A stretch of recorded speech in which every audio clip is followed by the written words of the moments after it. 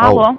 Я вас слушаю. Здравствуйте. Добрый, добрый день. Здравствуйте. Меня зовут Оксана Анатольевна, моя фамилия Дурбан. Я специалист компании МФК «Лаймзайм». У нас с вами телефонный разговор записывается. Подскажите, пожалуйста, Наталья Николаевна, фамилия К, вам знакома? Да, знакомо. Подскажите, пожалуйста, с кем приходится? А почему вы думаете, что я хочу это вам говорить? Потому что ваш номер телефона был оставлен в качестве дополнительного. Хотелось бы понимать. Это что, причина? А что вы не сказали? Потому что я сегодня кофе без сахара пила. Ну, в принципе, так же. Сейчас сказали, это сами вы услышали тебя? Да, Да нет, абсолютно не так же. А в чем Ну, в любом логика? случае, ладно, а раз вы знакомы, уже мне уже, ну, если честно, даже не интересно, так скажем, кем вы приходите. Передайте, значит, контактную информацию компании ПК «Лаймзайм», хотелось бы с ней переговорить. А вам интересно, кто вы вообще такая по этой жизни? Интересно, нет? Что мне должно быть интересно? Кто вы вообще по жизни? По Вам поговорить сейчас не с кем? Я скажу. Вы говорящая голова. Пусто- пустая причем.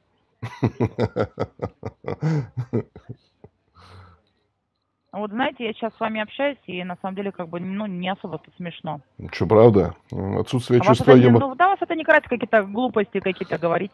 Отсутствие чувства юмора никогда еще никого не красило, а подтверждало идиотизм. У вас проблемы еще, проблемы с чувством юмором. Поэтому давайте с вами попрощаемся, даже вот не горю Не хочу, с вами а я, а я хочу поговорить, выяснить хотя бы, что же у меня за проблемы, помимо проблем с чувством юмора. И у вас, почему их Вы нет? выясняете с, с, кем, с кем-нибудь другим, там, из родными и близкими, там, вон, с мамой, с папой. Там вон, там где, там вон где, там вон что. юмора. А почему? Ну, вы же, вы же, вы, хорошего. вы же, дамочка, мне позвонили. Не-не-не, стоп, стоп, стоп, тормози. Да, друзья, вы все правильно поняли. Очередной выход к вам в эфир. И живое общение э, с говорящими головами. Или головами, как правильно. Что-то я забыл, если честно, напишите. Э, Я знаю, что вам такой формат нравится. Попробуем сейчас побеседовать, порадовать и себя, и вас. Ну и их, они же пасутся у нас на канале. Друзья, кто не знает, потом скажу. Алло. Здравствуйте, Татьяна Сергеевна. У вас имеется просроченная задолженность перед МКК «Ализай». Погасите задолженность или свяжитесь с нами по телефону 8 800 555 38 90. Ладно, не будем, но это а, есть другое входящее. Сбросили. Итак, кто не знает, кто я такой, кто случайно оказался на нашем канале, я вас приветствую и представляюсь. Меня зовут Кузнецов Дмитрий Евгеньевич. Я руководитель, основатель, а, ведущего на территории России юридического оператора название организации «Алям». Ссылка на наш сайт есть в описании любого ролика. Этого в том числе не дают даже поговорить с вами. Ну, давайте с ними поговорим. Алло. Не получается. Отвечу на вопрос, кто не понимает, откуда столько звонков.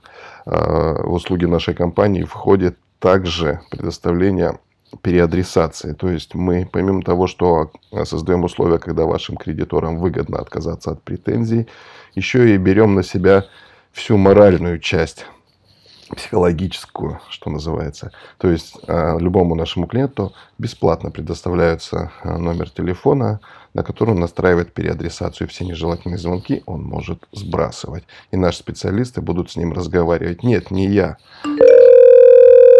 а наши специалисты, колл-центр. Я просто имею техническую возможность перехватывать эти звонки.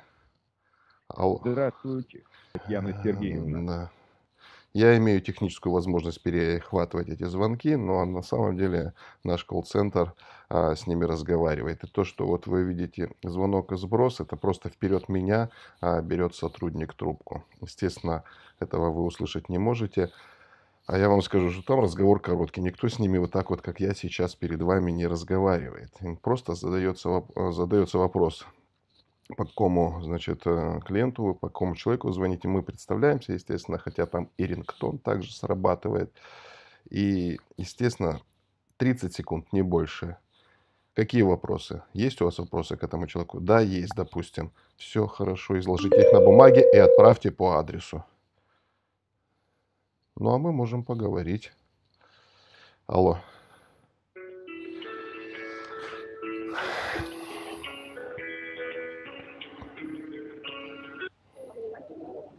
Здравствуйте. Здравствуйте, здравствуйте. Сергей Борисович, верно. Ну, как вам будет угодно.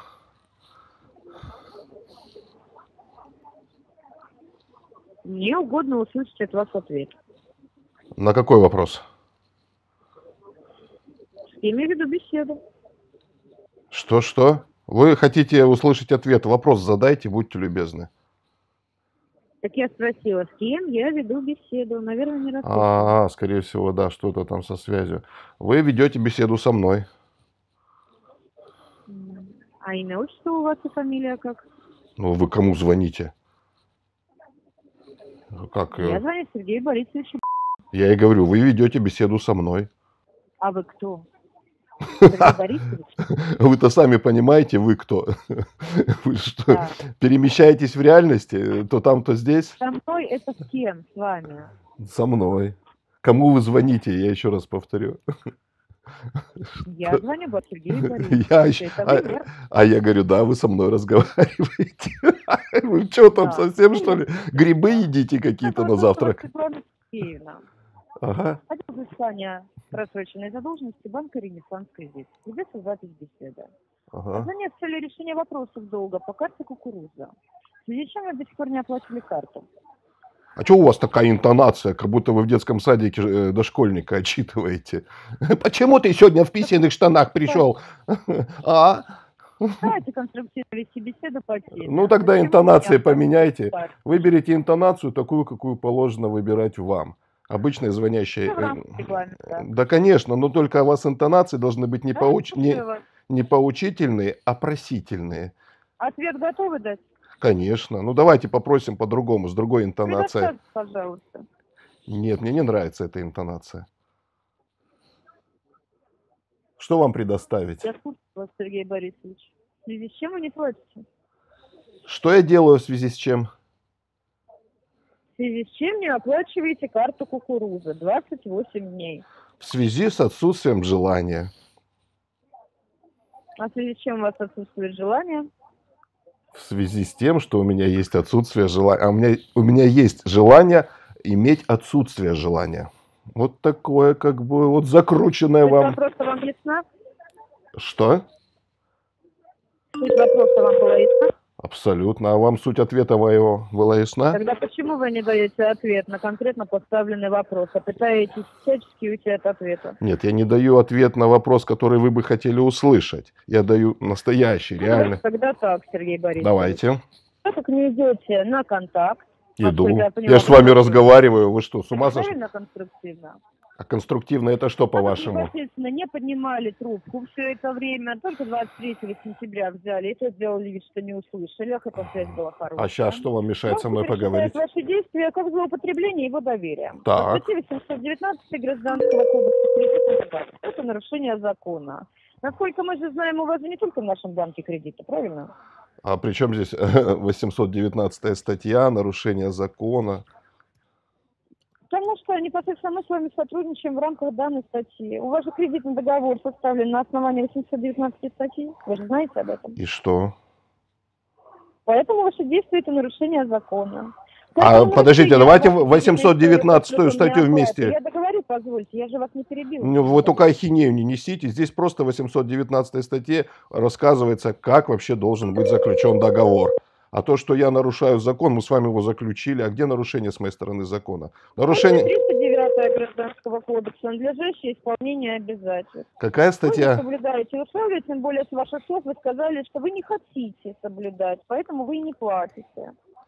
Так Это нет. ваши слова. Да, а- Ваша фраза подразумевает, что вы нарушаете закон намеренно. так, Поэтому у банка есть все основания прекратить с вами финансовые Ага. отношения. так. Ваши документы Очень переданы в хорошо. наш отдел для того, чтобы мы запустили процедуру передачи долга в коллекторское агентство. О, наконец-то, наконец-то, душа моя, как же вы меня порадовали. Поэтому 11 460 рублей сумма к оплате, учитывая штраф, который начисляется согласно вашего тарифного плата. Угу, Пока вам выставлено требование банком на оплату долга 29 сентября.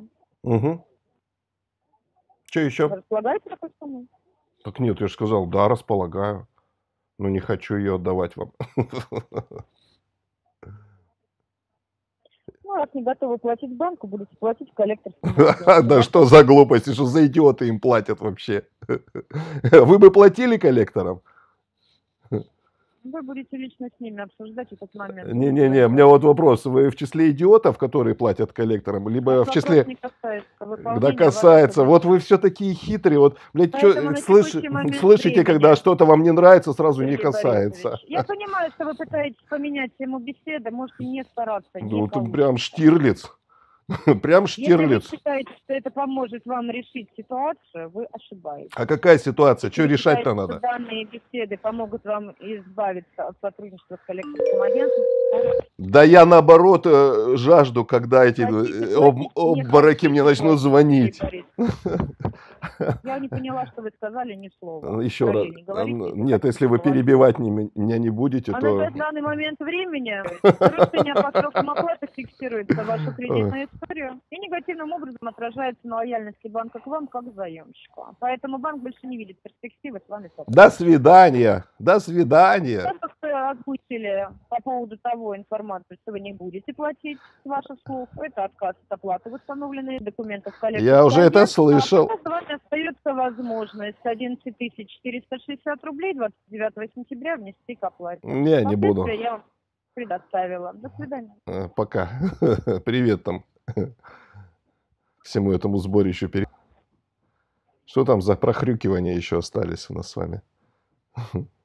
Да, друзья мои. Э, Ну, понятно. а вдруг- Она, скорее всего, сама понимает, что эти коллекторские агентства ни к чему не приводят, и никакого страха в этом нет. Но все-таки... Ну, так вот. э, По поводу Ренессанса, кстати говоря. Э, Если судебную практику смотреть, то они вообще в суд не подают, а уж на наших клиентов так э, вот сто процентов э, вообще нет захода в суд. Но это не значит, что... Сейчас продолжу, извините. Ага, вот, видимо. Э, Это не значит, что ну, нужно просто сидеть и ничего не делать. Естественно, если человек ничего не делает, просто так вот сидит, а, как говорится, выбрал стратегию страуса, то в этом случае, конечно, нужно ждать проблем, нужно ждать э, каких-то приключений, вплоть до того, что ну, судебный приказ-то будет, обязательно потом передача коллекторам. А, Коллекторы тоже могут подать в суд, не обязательно, чтобы вот сам Ренессанс подавал в суд. Коллектор может подать в суд и, невзирая ни на что, может и выиграть. Алло. Алло. Я не слышу вас. Здравствуйте. Звонок компании МФК ЦФП «Вива Деньги». Галкин Максим Сергеевич идет запись нашего разговора. Татьяна Сергеевна, я могу услышать? А что за вот такие го- говоры Г? Буква Г, скажи Г. Вы не услышали мой вопрос? Я услышал, но а что вас вот с этим говором берут в колл-центре? Г, Передай. Г, Г. Скажи, я говно. Я говно. Скажи так. Скажи так, я говно. Ага, Не балуемся. не балуемся ни в коем У случае. Татьяны Сергеевны есть На YouTube выкладываем. Смотрите, как быстро сейчас сольется. На YouTube я- выкладываем. На YouTube на выкладываем. Ой, какой страшный. У тебя слюни текут изо 10 рта? ее. 10 минут. Да. 11 дай хотя бы. 11, пожалуйста. Слышали, да, вот они, когда начинают вот так вот. Явный признак, что там сидит чудо прыщавое а, со слюнями. Вот здесь вот у него, знаете, слюни так вот скапливаются. И, ну, еще и гакает. А Так вот, вот когда они начинают таким вот образом себя вести, ну, интонации повышать, грубый голос делать, 100% это чмо опущенное. А, ну вот он не может других слов найти, он не может выстроить, э, скажем так, разговор, беседу, подобрать нужные слова, ему остается только лишь повышать интонации, чтобы самоутвердиться, попытаться самоутвердиться. А, вот такая вот... а, Здравствуйте. Алло. Алло. Здравствуйте, меня зовут Яна Заводская. Скажите, вам знакома Юлия Андреевна? Кто это? Я... Вам ра- Тинькофф. Так, дальше. Вам знакома с Юлия Андреевна? Вы кто, Банк Тиньков? Мне много кто знаком. Я отдел взыскания банка Тинькофф. Вам знакома с Юлия Андреевна? Человеческое имя сотрудника хочу услышать, а не должность и название организации. Я вам сказала, вы не слышали меня? Нет, не слышал, поэтому прошу повторить. Меня зовут Яна. Слышно? Яна, ты больная, блядь. Ты раззвонишь из банка, какая ты Яна. Алена и Янна. Просьба беру. Просьба Фамилия? В общепринятой манере общения. Общепринятая манера общения с вами именно такая. время банк урегулирует вопрос. Урегулируйте. Тебе мозги подкрутить тебе надо, свидания. чтобы у тебя там что-то урегулировалось, Янна. Инна. Видите, сколько звонков, да? А, кстати говоря, очень часто пишут в комментариях, да что там он сидит, только этой херней занимается, никакой там организация лям нет. Так, внимание всем, кто... а, Ну, коллекторы точно не пойдут, но те, кто сомневается. Адрес нашей организации общеизвестен, выложен. Везде можно найти и записаться на бесплатную консультацию. Спок- Спокойно приходите и убеждайтесь, что мы действительно существующая большая организация. Алло. Здра- Алло. Здравствуйте. Да-да-да, здрасте. Меня зовут отдел взыскания банка Тинькофф. Ага. Знакома твоя Андреевна? Отдел взыскания банка Тиньков. Дальше. Что нужно сказать? Вам знакома Юлия Андреевна? Нет, неправильно. Вторая попытка. Отдел взыскания банка Тиньков. Дальше что нужно сказать? Думаем, думаем, думаем. А, ну, Скажите, пожалуйста, нет, не это. нам необходимо уточнить, знаком ли вам такой человек? Юлия Андреевна. Вторая попытка неверная. Отдел взыскания банка Тиньков. Третья попытка. Что нужно сказать дальше? Подсказка. чего мне задаете вопрос? Подсказка. 230 федеральный закон. Статья 7. Отдел взыскания... закона данного. А, нет, пока что не нарушайте, но вы не до конца соответствуете ему. Чем конкретно? Статья 7, 230 федеральный закон. Сотрудник банка, ну там не банка, конечно, а, в процессе взыскания задолженности, там так написано, не конкретизируется, но вы же взыскиваете задолженность, а, должен в начале разговора представиться полностью, назвать фамилию, имя, отчество, название организации, должность и по требованию того, кому он звонит, еще ГРН, ИНН, фактический адрес, юридический адрес. Вы только лишь сказали, что вы из банка Тиньков. Это по вашему требованию мы можем назвать. Я понимаю ваше недовольство. Действия банка не противоречат законодательству. Мы готовы сделать все возможное, чтобы... Я требую. Я требую, чтобы вы назвали сейчас фамилию, имя, отчество. Моя фамилия Соломатова Марина Владимировна. Соломатова Марина Владимировна. Да. Ага. Отдел взыскания банка Тинькофф. Дальше продолжаем идентифицировать, действительно ли вы сотрудник банка Тиньков. Назовите, пожалуйста, юридический адрес банка. Город Москва. Так.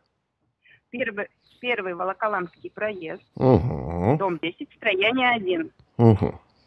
Хорошо. А теперь фактическое местонахождение вас как сотрудника банка.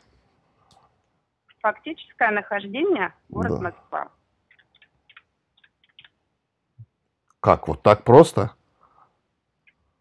Да. Эту информацию я вам озвучивать не обязана. Нет, обязаны. Вы готовы продолжить диалог? Не, ну сейчас называется это уже нарушением закона. Вы игнорируете статью 7 230. Закон мы не нарушаем. Ну как же, там же Вы четко готовы написано. продолжить конструктивный диалог? Конструктивный, по-вашему, это то, что вы хотите услышать. А я как раз-таки сейчас конструктивно с вами общаюсь. А вы как раз-таки не готовы к конструктивному диалогу. Поэтому все, что вам остается, извиниться, положить трубку. И когда будете готовы к конструктивному диалогу, перезвоните.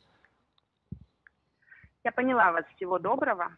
Извините за беспокойство. До свидания. Большой молодец. Ум еще есть. Да, друзья. Ну, ну почему, вот почему многие не хотят эксплуатировать такой формат общения? Боятся. Вот мне пишут в личку какую-то ерунду, коллекторы замучили. Что делать? Помогите. Ой, я их так боюсь. Не верите? Уйма, уйма, уйма, вообще прям поток вот таких вот писем. У меня ВКонтакте, я уже помощников нанял, одного, второго, третьего сидят там с функцией администратора, отвечают на этот бред. А, вот именно связанный с тем, что помогите, спасите. Как избавиться от коллекторов, как от звонков. Поймите одну простую вещь, друзья мои. Звонки под собой не несут никакого фундамента юридического, правового, абсолютно. Расчет на незнание и страх. Это обычное психологическое давление.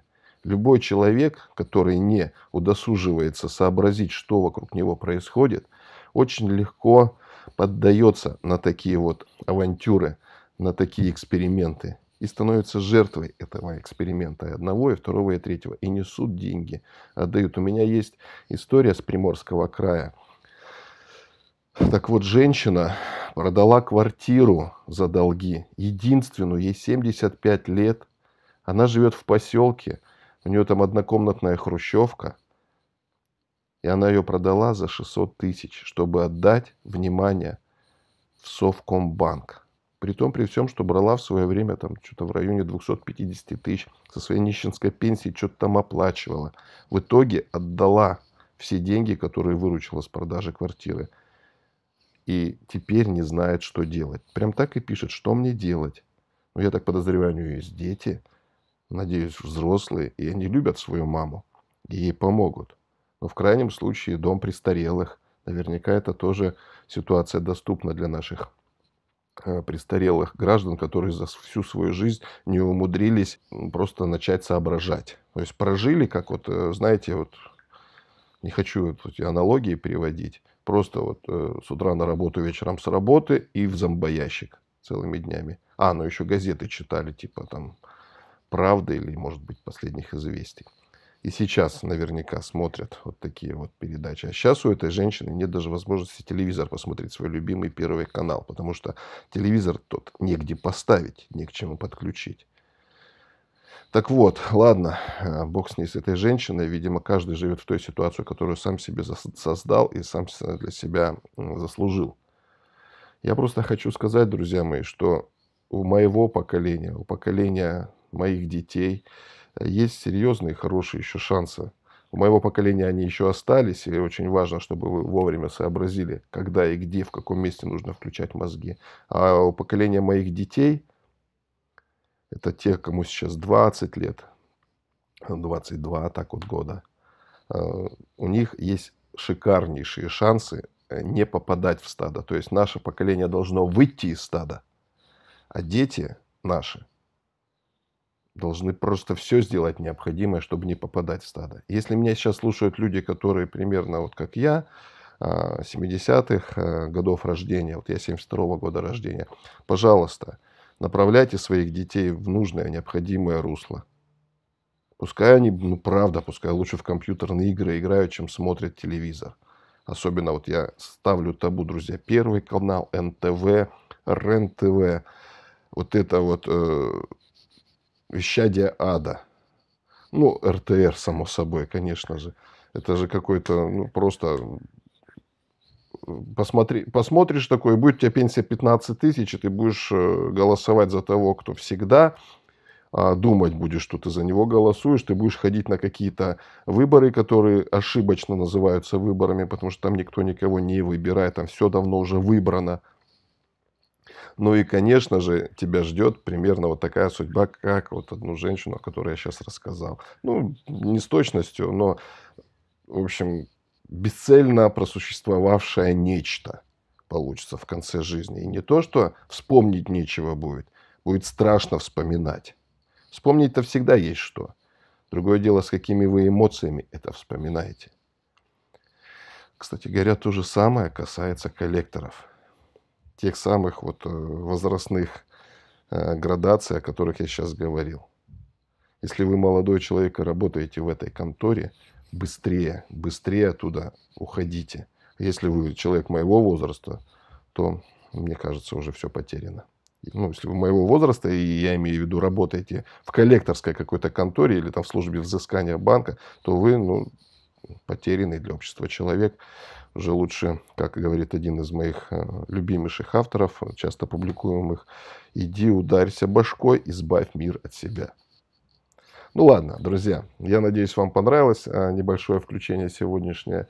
А, пожалуйста, поставьте лайки, не забывайте лайки ставить и пишите комментарии. Это очень важно для канала, для продвижения канала, а, для того, чтобы в массы побольше заходила нужной информации.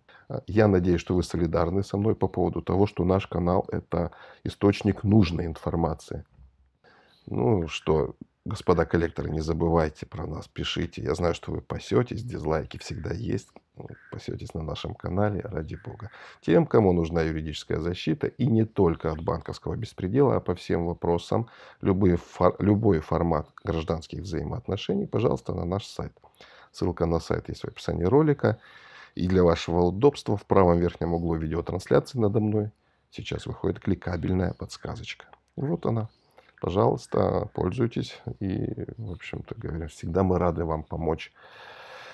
Можете записаться, если вы в Санкт-Петербурге находитесь на бесплатную консультацию. Ссылка э, в описании есть на группу ВКонтакте, там же можно записаться. Ну и звоните, задавайте вопросы. Если не смогли дозвониться по понятным причинам, то, пожалуйста, можете оставить на сайте сообщение, вам перезвонят. Мы сейчас, кстати говоря, и по выходным стали работать, дежурство я назначил. И теперь, сейчас даже, если вы заходите на сайт и оставляете заявку, вам в ближайшее время, не сразу там через 5 секунд перезвонят, ну достаточно быстро, может быть, в течение сегодняшнего, завтрашнего дня перезвонят и совершенно бесплатно проконсультируют действующие юристы.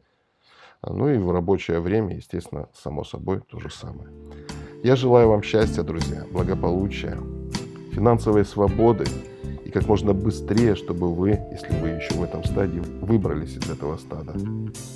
Я вам отчетливо показываю, где калитка, ее очертания, даже нет, не очертания, ее отлично видно. Пожалуйста, выберите это направление и вперед к финансовой свободе. Вами был Кузнецов Дмитрий, Центр юридической защиты, компания «Аля». Всего вам хорошего, дорогие мои.